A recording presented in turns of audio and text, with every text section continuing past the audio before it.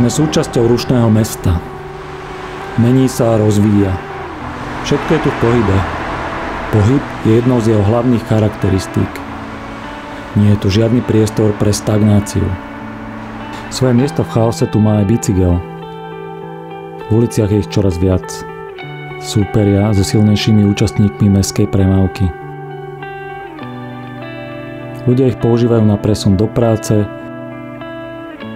kuriéri na nich vozia naše zásielky, alebo slúžia len tak pre radosť pohybu. Rozvoju cyklistiky určite pomohla aj poloha mesta. Pretekaním rieka po oboch stranách lemovaná cyklotrasami.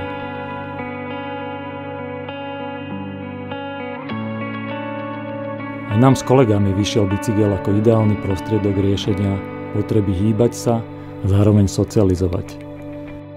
Pre naše pravidelné jazdy sme po prvých pokusoch náhrazy našli ideálny cieľ našich výletov. Bielý kríž.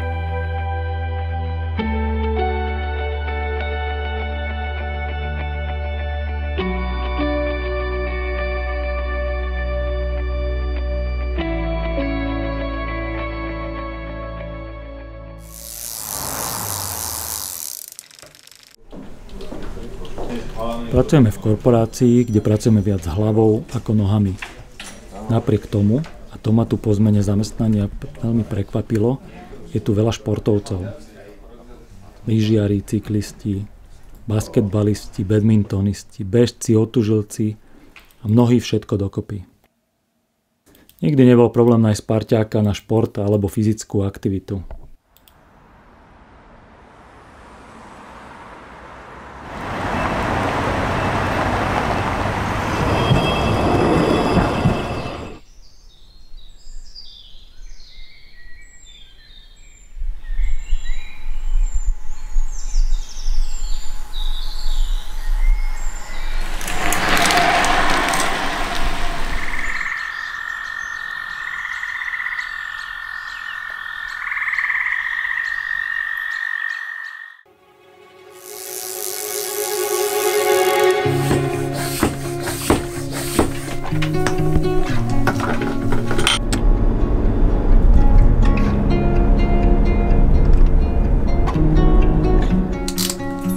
Máme za sebou 13 sezón. Jazdíme v stredu po práci a je to už nemenná aktivita nášho kalendára. Vedia to naše manželky aj deti.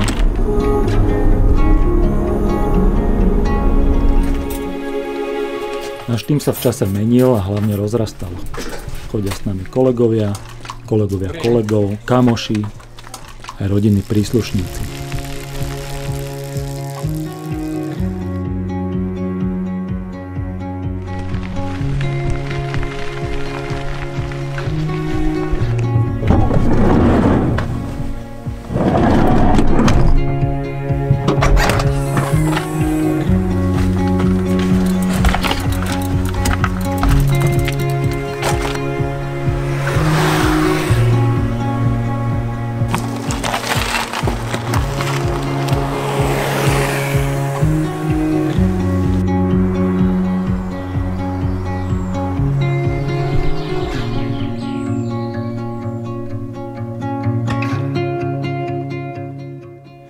Bielý kríž.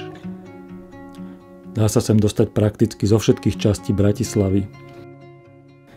Na to, aby sa človek dostal hore, treba trochu zamakať, v lese sa nadýchať čerstvého vzduchu a hore si za odmenu môže pokecať s kamošmi a dať si pivo alebo kofolu. S každou sezónou sa menili aj trasy, ktoré sme sa snažili modifikovať, nech to nie je nuda. Postupne sme sa z asfaltiek ponarali viac a viac do lesa a spoznávali krásu a rozmanitosť karpatských trailov.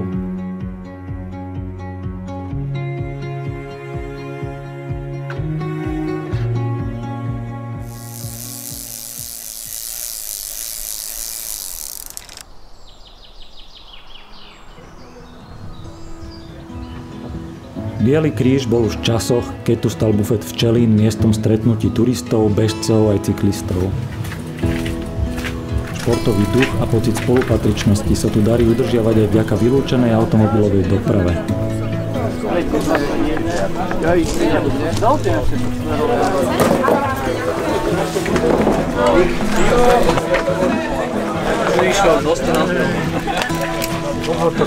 Hej, mám premiéru v auguste. sa neviem, alebo či teda som išla jak hodina, to bolo úplne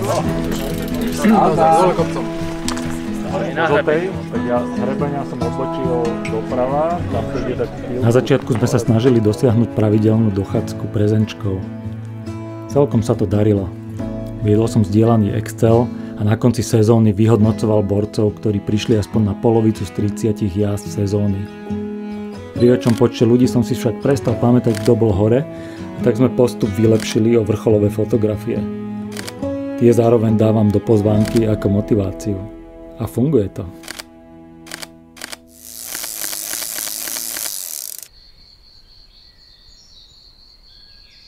Slnko už pomaly zapadá, ale deň pre nás ešte nekončí. Do zotmenia stihneme ešte zo pár trailov pri plnom sústredení a gravitácia bude hrať teraz už náš prospech.